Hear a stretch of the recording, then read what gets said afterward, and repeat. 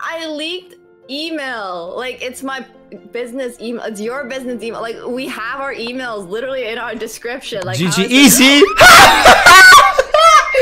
oh my god! 700 against 1100. Tak kończą frajerzy, co się sprzedają.